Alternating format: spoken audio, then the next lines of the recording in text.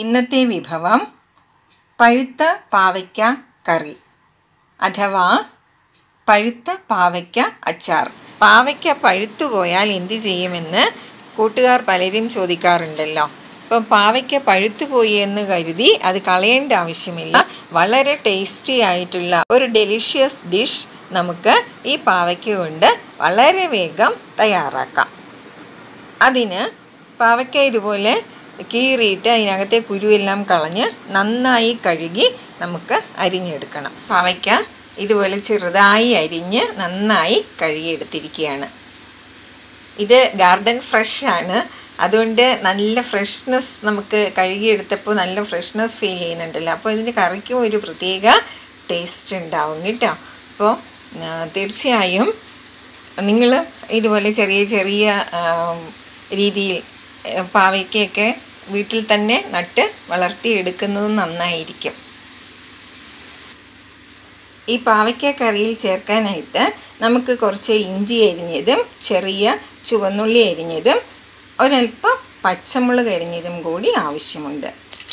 നമുക്ക് ഈ പാവയ്ക്ക കറി തയ്യാറാക്കാനായിട്ട് ഒരു പാനിൽ എണ്ണ ഒഴിച്ചു കടുകും ഒരല്പം ഉലുവയും കൂടി പൊട്ടിക്കണം. എന്നിട്ട് അതിലേക്ക് നമുക്ക് വറ്റൽമുളകും കറിവേപ്പിലയും കൂടി ചേർക്കാം. ഇതിലേക്ക് വറ്റൽമുളകും കറിവേപ്പിലയും കൂടി ചേർക്കണം. നമുക്ക് ഇഞ്ചിയും ഉള്ളിയും പച്ചമുളകും ഇട്ടൊന്ന് ഇളക്കാം. ഇതിലേക്ക് നമ്മൾ മഞ്ഞൾപ്പൊടി മുളക് പൊടി മല്ലിപ്പൊടി അല്പം കായപ്പൊടിയും ഉലുവാപ്പൊടിയും കൂടി ചേർക്കുന്നു. ഇപ്പം നമ്മൾ എടുക്കുന്ന പാവയ്ക്ക ഒരുപാട് കയ്പുള്ളതാണെങ്കിൽ അതിനനുസരിച്ച് മുളക് പൊടിയുടെ അളവ് കൂട്ടാം. ചെറിയ കയ്പേ എങ്കിൽ മുളക് പൊടി കുറച്ച് ചേർത്താൽ മതി. ഇപ്പം ഇത്രയും പൊടികൾ നമ്മൾക്ക് അത് എരിവിന്റെയൊക്കെ താല്പര്യം അനുസരിച്ച് നമുക്ക് കൂട്ടിയും കുറച്ച് എടുക്കാം. പാവയ്ക്ക കുറച്ച് കൂടുതലുണ്ടല്ലോ. അതുകൊണ്ട് അതിനനുസരിച്ച് ഒരു മൂന്ന് നാല് സ്പൂൺ മുളക് പൊടി നമുക്ക് ചേർക്കാം. ഇതിലേക്ക് ഈ പാവയ്ക്കും കൂടി ചേർക്കാം. ഇതിലേക്ക് ആവശ്യത്തിന് ഉപ്പും കൂടി ചേർത്ത് നന്നായി ഒന്ന് വഴറ്റി എടുക്കണം. അപ്പം എണ്ണ തീരെ കുറയ്ക്കേണ്ട. എണ്ണയിൽ കിടന്ന് നന്നായിട്ടൊന്ന് മൂത്ത് കിട്ടണം. പാവയ്ക്ക കറി എന്നാണ് നമ്മൾ പറയുന്നതെങ്കിൽ ഈ പാവയ്ക്ക പിക്കിളിന്റെ എഫക്റ്റാണുള്ളത് അതുകൊണ്ട് നല്ലെണ്ണ വേണമെങ്കിലും ഇതിന് ഉപയോഗിക്കാം. ഞാൻ ഇവിടെ നല്ലെണ്ണയല്ല ഉപയോഗിക്കുന്നത്. സൺഫ്ലവർ ഓയിലാണ് ഉപയോഗിച്ചിട്ടുള്ളത്. ഇത് നമുക്ക് വെളിച്ചെണ്ണയോ നല്ലെണ്ണയോ ഉപയോഗിക്കാം. ഫ്രൈ ചെയ്യണ്ട എന്നാലും നന്നായിട്ട് മൂത്ത് കിട്ടണം. ഒന്ന് അടച്ചു വയ്ക്കാം ഇതിലിപ്പോൾ നന്നായിട്ടൊന്ന് വാടി കിട്ടിയിട്ടുണ്ട് നമുക്ക്. ഇത് ഫ്രൈ ആകണമെന്നില്ല. ഇപ്പം നന്നായിട്ടൊന്ന് ഉലർന്നു വന്നാൽ മതി. ഇതിലേക്ക് നമുക്ക് പൊടികളും കൂടിയിട്ട് വാട്ടിയെടുക്കാം.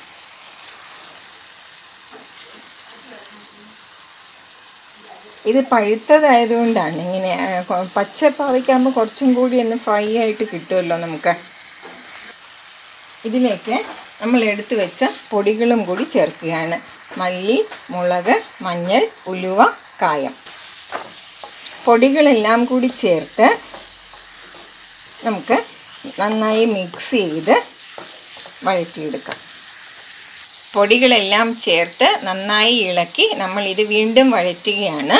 പാവയ്ക്ക നേരത്തെ അരിഞ്ഞു വെച്ചപ്പോൾ ഒരുപാടുള്ളതായിട്ട് തോന്നിയില്ലേ? അപ്പോൾ ഇത് വാടി വന്നപ്പോൾ ആ വരണ്ട് വരുമ്പോൾ ഇത്രയും ഉള്ളൂ അളവ്.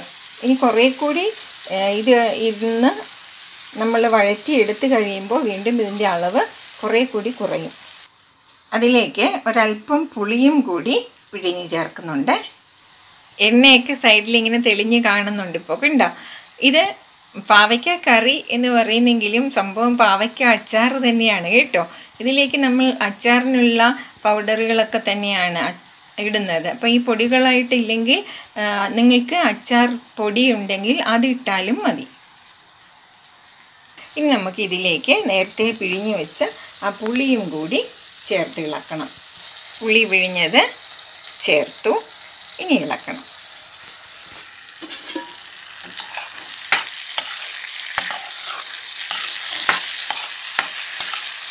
ഈ അവസാനം നമ്മൾ അടുപ്പത്ത് നിന്ന് ഇറക്കുന്നതിന് മുൻപ് ഒരു നുള്ള് പഞ്ചസാരയും കൂടി ചേർത്തൊന്ന് ഇളക്കണം. ഇപ്പോൾ നമുക്കതിലേക്ക് ഒരു ഒരു നുള്ള് പഞ്ചസാരയും കൂടി ചേർക്കാം. ഇത്രയും ഒരല്പം പഞ്ചസാരയെ നമ്മൾ ചേർക്കുന്നുള്ളൂ. ഇതും കൂടി ചേർത്ത് ഒന്ന് ഇളക്കി കഴിയുമ്പോൾ നമുക്ക് ആ അഥവാ എന്തെങ്കിലും കയ്പോ തോന്നുന്നുണ്ടെങ്കിൽ അതും കൂടി പോകും. വളരെ ടേസ്റ്റി ആയിരിക്കും. ഇത് നമ്മൾക്ക് ഓഫ് ചെയ്തിട്ട് ഒരല്പസമയം ഈ പാത്രത്തിൽ തന്നെ വച്ചേക്കാം. പാത്രഭാഗം വരണം എന്ന് പറയുമല്ലോ. അപ്പം എന്നിട്ട് നമുക്ക് ഒരു ഉണങ്ങിയ പാത്രത്തിലേക്ക് പകർന്ന് എടുക്കാം. വളരെയധികം വൈറ്റമിൻസ് ഉള്ളതാണല്ലോ പാവയ്ക്ക. അപ്പം കുട്ടികൾക്കൊക്കെ പാവയ്ക്കയുടെ കയ്പുള്ളത് കൊണ്ട് ഇഷ്ടപ്പെടില്ല. പാവയ്ക്ക തോരനോ മെഴുക്കുവരട്ടിയോ ഒക്കെ വെച്ച് കൊടുത്താൽ ചില കുട്ടികൾക്കൊന്നും ഇഷ്ടപ്പെടുകയില്ല. അപ്പം ഇങ്ങനെ കൊടുത്തു നോക്കൂ. പാവയ്ക്ക ഇഷ്ടപ്പെടാത്ത കുട്ടികളെ ചിലപ്പോൾ അച്ചാറൊക്കെ ഇഷ്ടപ്പെടുന്ന കുട്ടികളുണ്ടാവുമല്ലോ. അപ്പം ഇതിന് വലിയ കയ്പൊന്നുമില്ല. പാവയ്ക്ക ഇഷ്ടപ്പെടാത്ത കുട്ടികൾക്ക് പോലും ഇഷ്ടപ്പെടുന്ന ഒരു വിഭവമായിരിക്കും ഇത് നിങ്ങളും ഇത് പരീക്ഷിച്ച് നോക്കി അഭിപ്രായം അറിയിക്കണം. കേട്ടോ കൂട്ടുകാരെ? പുതിയ ഡിഷസുമായി വീണ്ടും കാണാം. താങ്ക്